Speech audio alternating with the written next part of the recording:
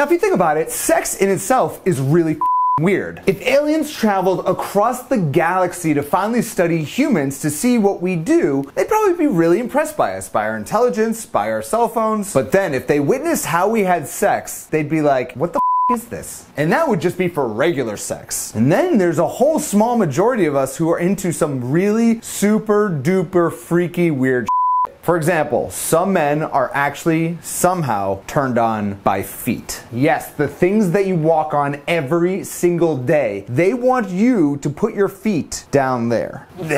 So just to be clear, this video is not about fetishes or weird like that. This is actually seven things that most of you women will probably find a little bit weird, but most guys, at least the majority of us, are actually into this. Women of all shapes and sizes. Now, society tries to tell us that men are only into very skinny, petite women, and those are the types of women who are on the cover of Cosmo or any type of magazines that you might be reading. But for you more voluptuous women out there, I need you to know this. I need to tell you this right now. That is not all only what men are into. They are women into women of all shapes and sizes, and Google tells us this. In fact, for every skinny Google search, there are actually an equal amount of fat searches and what are called BBW sites, which is the BBW standing for big, beautiful women. Believe it or not, those are actually incredibly popular, and a lot of men are actually very attracted to more voluptuous women. So for you larger women out there, definitely rest assured there are definitely guys out there who want to be with you and your incredibly beautiful body. Number two, music. Respondents Respondents on a recent survey that I found said that basically music being played in the background is 14% more likely to turn them on than the, even the touch or the feel of their partner. Oh, why, hey there. Ugh.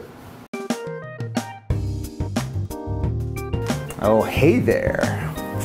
Number three, when you look like him. Now, according to a study led by the University of Montpellier, it appears that we are actually attracted to people that look like us. Now, I know a ton of people who look just like their partner, and it is freaky as and you probably have some people in your life who you can think of who is definitely dating someone who's like their brother, they look, or their sister, they look like, and it's friggin' weird. So I wanna hear from you in the comments. Co leave a comment right there below if you know someone who's dating someone who kinda looks like them. Number four, you're sexy sexy voice while you're menstruating. A study in Psychology Behavior magazine actually showed that when a woman is menstruating and they played those voices in men's ears, it literally sent tingles up a man's spine. Like they can tell, we can tell a difference apparently, either consciously or subconsciously, when a woman is menstruating, and that completely turns us on. So for you ladies who are going out a night out in the town, and it could be that time of the month where you might be menstruating, make sure you remember to take the pill. Men are gonna be all over you apparently. Number five,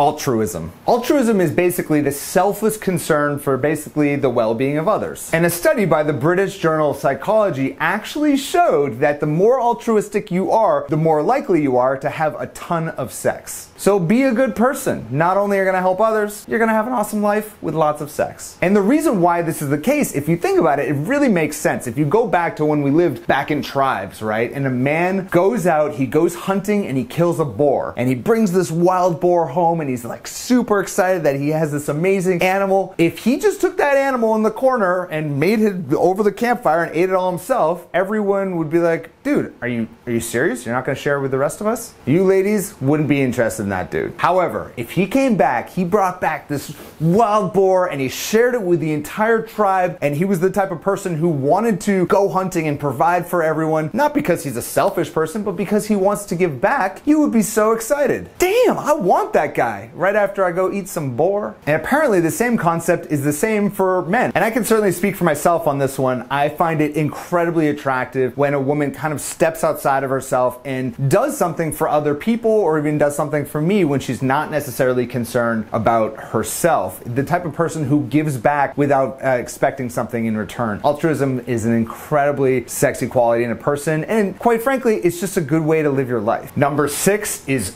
fear. Believe it or not, there was a study where they took two groups of men, split them in half. They took one group of guys and put them on top of a bridge in like a really scary place, like super high, so they are freaked out. And what they did is they took these two different groups and they took an attractive female to interview these men. And what they found somehow by doing this questionnaire, they found that the men who were absolutely terrified at the top of this bridge were way more aroused by that woman than the guys who were just sitting comfortably in a chair. I have no idea what part that plays in evolutionary psychology, why we are that way, but it makes sense. Who hasn't watched a scary movie and just wanted to get completely freaky at the end of the movie? And finally, number seven, chocolate covered strawberries. Recently, the online dating site Zoosk came out with this survey, and basically they asked their users what type of food they found to be the sexiest. And the number one that came back for both men and women was chocolate covered strawberries. So I want to hear from you ladies. What of these seven are the absolute biggest turn ons from you? Write that in the comment right there below. And also, if you enjoyed this video, please don't forget to give it a like on YouTube and also don't forget to subscribe on YouTube for more videos just like this every single Thursday. And finally, if you haven't been over to sexyconfidence.com, then make sure you click that link right there. It's going to take you to a free training where you can learn exactly how it is that you can get back out there and attract the man in the relationship you've always wanted. Go ahead and click that link or head on over to sexyconfidence.com and I will speak to you, you sexy single lady, next week. Bye bye.